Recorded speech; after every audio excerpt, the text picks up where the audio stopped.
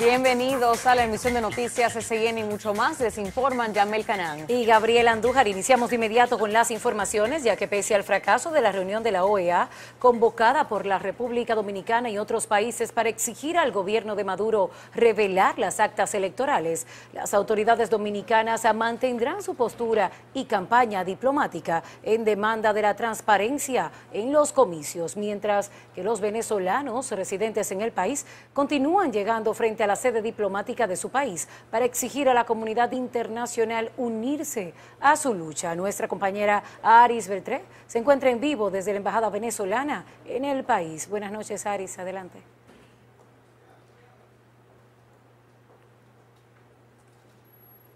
Aris.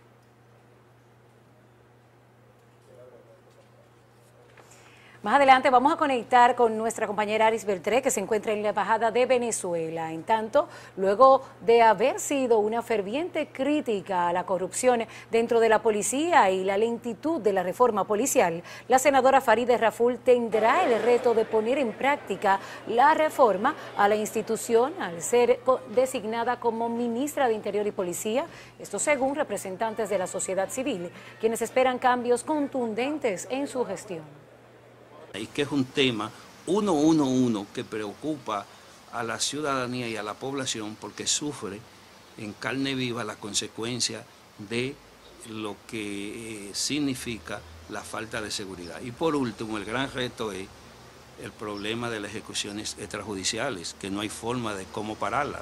Tiene que haber una eh, estructura integrada de coordinación entre las diferentes instancias para y hay que hacer un trabajo en el territorio, con las comunidades. Como legisladora, Raful ha criticado las acciones de la policía a través de sus redes sociales. En octubre del 2021 tuiteó que el problema de la policía es estructural y de origen. Para transformarla hay que volverla prácticamente otra institución. Y volvemos con el tema que iniciamos. Nuestra compañera Aris Beltré se encuentra a las afueras de la Embajada de Venezuela, donde los venezolanos aún continúan uniéndose ahí en oración y llamando a la Estamos aquí frente a la sede diplomática, donde por cuatro días los venezolanos residentes aquí en la República Dominicana pues se mantienen apostados aquí luego de sus jornadas laborales. Podemos ver que están colocando, por ejemplo, carteles frente a la puerta donde dice Venezuela desde República Dominicana estamos orando por ti. Aquí vienen con niños vienen adultos mayores, también vienen niños. También ellos están pidiendo que realmente la ONU y la OEA pues se unan para buscar pues una solución a esta situación que afecta a Venezuela. Precisamente aquí estoy con Edwin, aunque él es dominicano, lleva toda una vida desde pequeño residiendo en Venezuela donde formó su familia y nos gustaría saber cuál es la opinión que tiene usted de esta situación que está pasando ahora mismo en Venezuela. Bueno, eh, Lamentándolo mucho, estamos viviendo una situación, una pesadilla hace 25 años desde que esos eh, sanguinarios tomaron el país, acabaron con la alegría de todo el que estaba en Venezuela, venezolano, eh, extranjero, de todo el que estaba en Venezuela. Era el paraíso, la joya de, de Latinoamérica, era Venezuela, hasta que llegó un señor que se llama Hugo Chávez Fría y acabó con toda la alegría de Venezuela. La opinión que tiene usted de estos, por ejemplo, resultados que la OEA no pudo tener pues los votos completos para buscar una solución a esta situación. Eh, tenemos que seguir buscando mecanismos, hay que seguir buscando mecanismos, tenemos que buscar apoyo internacional, la ONU tiene que manifestarse, la ONU tiene que tomar una decisión que sea radical, una decisión que de verdad eh, tenga impacto, porque siempre, siempre ellos salen con, con con la ventaja, ellos siempre salen airosos y nosotros quedamos con las esperanzas, con los crespos hechos, como dice una música, esperando a, el día que Venezuela sea liberada. Es, es increíble que en pleno siglo XXI tengamos una dictadura en el continente americano, en Latinoamérica, específicamente en Venezuela, una dictadura que haya durado tanto y que no haya podido el mundo entero hacer nada. Nosotros pedimos de manera inmediata que la ONU tome su decisión y que sea rápido. No puede morir más venezolanos. María Corina Machado está sola ya en Venezuela, está desamparada. Necesitamos apoyo para María Corina Machado. Muchísimas gracias. Escucharon ustedes parte de las declaraciones de este dominicano que aunque hizo vida en Venezuela y tiene su familia, pues está aquí apoyando a toda su familia y a sus hijos también. También decirle que más temprano referente a este tema se refirió pues la vicepresidenta de la República y otras personalidades quienes aseguran que ahora será una decisión propia de Venezuela buscar una salida a la crisis que enfrentan. Lo importante es la posición de nosotros que defendemos eh, en todo territorio lo que es la democracia y seguimos trabajando precisamente para nosotros solidificar la democracia en la República Dominicana. Pedimos a todos los actores eh, en, Venezuela eh, prudencia, cordura, sensatez y de apelar a la no violencia en Venezuela. Hay una falta de certeza en el voto intangible, en el voto virtual, en el, en el voto electrónico. Y Venezuela tiene esa característica. Entonces tienen su regla y eso complica el tema de las actas. Este es un país demócrata, ¿no? Democrático.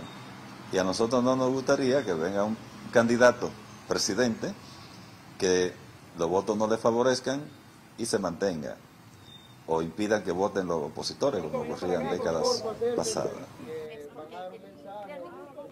Hay que destacar que en estos momentos, pues todos los venezolanos que se encuentran reunidos aquí frente a la sede diplomática están siendo convocados y desde ya están anunciando pues todas las medidas y todas las acciones que van a tomar durante el fin de semana. Desde ya han dicho que van a sostener una reunión, un encuentro frente a la ONU y también tienen previsto realizar una marcha pacífica el próximo domingo. Por supuesto que todos los detalles, Yamel, en nuestra emisión estelar a las 10 de la noche, pues lo vamos a tener en esa emisión estelar y por supuesto que nos quedamos aquí para conocer los últimos detalles de estas reuniones que están sosteniendo los venezolanos aquí en la República Dominicana. Ahora yo paso contigo a los estudios.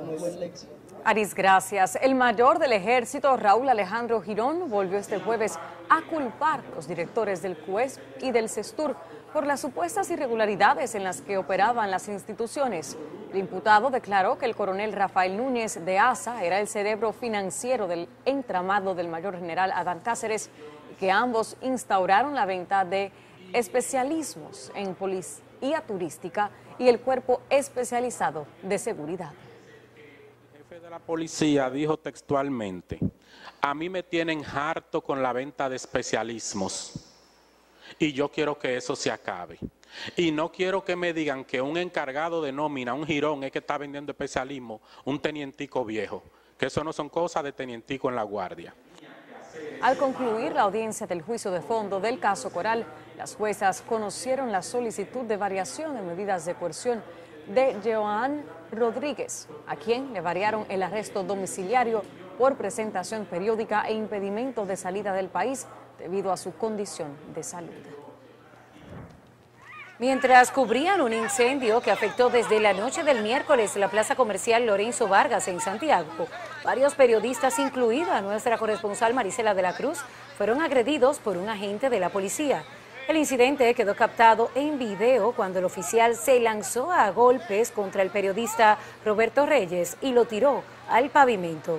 Dicha acción fue condenada por el director de la policía, Ramón Antonio Guzmán Peralta. después que yo él va a rematarme, me agarra por entonces a los muchachos los gran quitazos. Como un hombre le da una galleta a una mujer, delante de todo el mundo, a una periodista de tanto calibre de nuestra ciudad. Un cabo de la Policía Nacional, quien se apartó de los lineamientos institucionales y de eh, lo que son las directrices de respetar en todo momento lo que es la libertad de prensa.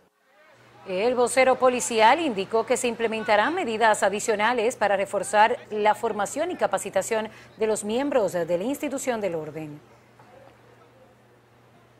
Tras la aprobación en el Congreso de la ley que reconoce como muertos a las 12 personas que nunca fueron encontradas luego de la trágica explosión de San Cristóbal, sus deudos esperan la promulgación por parte del Poder Ejecutivo para conseguir las actas de defunción para poder realizar trámites de traspaso de cuentas bancarias, pensiones y bienes. Estamos esperando por usted, señor presidente, para que nos dé esa de función porque de verdad la necesitamos. Yo por lo menos aquí pago un préstamo de 28 mil pesos por no tener esa acta de función. Esperamos que en los próximos días promulgue esta ley que es tan importante para poder sacar las actas de funciones a todas las personas desaparecidas, que son 12. De acuerdo con la norma, las 12 personas que desaparecieron durante la explosión el 14 de agosto del 2023 serán declaradas como judicialmente fallecidas mediante una sentencia del juzgado de primera instancia de la Cámara Civil y Comercial de San Cristóbal. El Centro de Operaciones de Emergencias mantiene 19 provincias bajo alerta debido a la incidencia de una onda tropical y de una vaguada. En alerta amarilla están el Distrito Nacional, Samaná, Provincia Santo Domingo, El Ceibo, María Trinidad Sánchez y Atomayor. Mientras que en alerta verde se sitúan Bauruco, Sánchez Ramírez, La Vega, Monte Plata, Monseñor Noel, San Juan Independencia, San Pedro de Macorís, La Altagracia, Elías Piña, La Romana, Santiago y Duarte. Producto de, los dos fenómenos atmosféricos en el país, pues se producirán nublados con lluvias de intensidades variables, tormentas eléctricas y ráfagas de viento.